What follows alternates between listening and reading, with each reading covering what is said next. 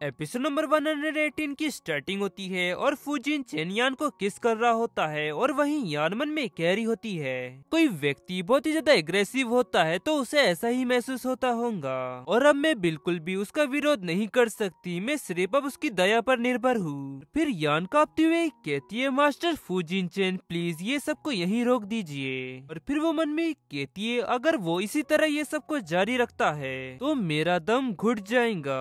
और फिर यान जान हाँपते हुए कहती है, मास्टर फूजिन चेन बस बहुत हो गया। तब फूजिन चेन कहता है, मैंने तुमसे कहा था ना कि आज तुमको पछताने का मौका नहीं मिलेगा। फिर यान मन में कहने लगती है, मैं फूजिन चेन के इस पागलपन से पता लगा सकती हूँ कि उसने इस दिन का कितना लंबे समय से इंतज़ार किया है। आखिरकार आज उसे वो मिल ही गया जो वो चाहता था।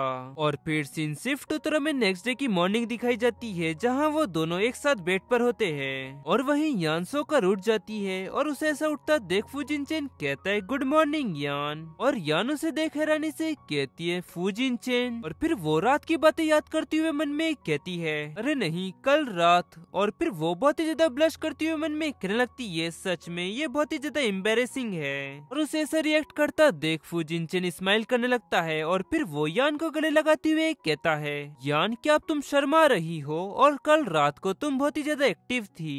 यान कहती है, वो मायने नहीं रखता, कल तुम तुम्हारा जन्मदिन था, इसलिए मैंने ये कहती हुए वो उठती है और तभी उसकी कमर में दर्द होता है और मन में कहती है, आ, मेरी कमर। और फिर वो गिरने लगती है, तभी फूजिनचन उसे पकड़ लेता है और कहता है, यान बस तुम लेट जाओ, जल्दी ही ये ठीक हो जाएँगी। वही यान मन में कह रही होती है, सच में, ये बहुत ही ज़्यादा शर्मनाक है। और ये व्यक्ति, क्या वो पहले सिर्फ़ जेंटल होने का दिखावा कर रहा था? और कल रात तो वो एक जंगली जानवर बन गया था। और फिर फूजिनचन कहता लगता है यान मैंने तुमको अच्छी तरह से तैयार कर दिया है। और यान तुम्हारे लिए ये पहली बार होगा जब तुमने किसी व्यक्ति को जानवर की तरह बर्ताव करते हुए देखा होगा है ना?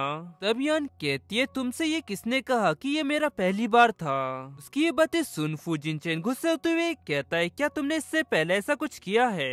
और फिर वो यान को किस करने लगता है, और तभी यान अपने मुँह फेरते हुए कहती है, बस बहुत हो गया अभी अभी सुबह हुई है और तुमने मेरी साँसें लगभग रोक ही दी है। फिर फूजिन चैन ब्लैंकेट को उड़ाता है और यान चिल्लाते हुए कहती है, तुम ये क्या कर रहे हो? और फिर वो मन में कहने लगती है, आखिरकार वो ब्लैंकेट के अंदर क्यों आया? मैंने कपड़े नहीं पहने हैं। और फिर फूजिन चैन कहता है, मुझे बताओ कि तुमने ऐसा किसके साथ किया है? तब यान उससे कहती है, मैं मैं झूठ बोल रही थी, अब शांत हो जाओ। और फिर वो मन में कहने लगती है, मैं अपने शरीर को महसूस नहीं कर पा रही हूँ। क्या वो फिर से दोबारा वैसा ही करने जा रहा है? और गाइस के साथ एपिसोड नंबर 118 यहाँ एंड होता है। पसंद आया तो लाइक एंड सब्सक्राइब ज़रूर करें। मिलते हैं आपको जल्दी नेक्स्ट एपिसोड में।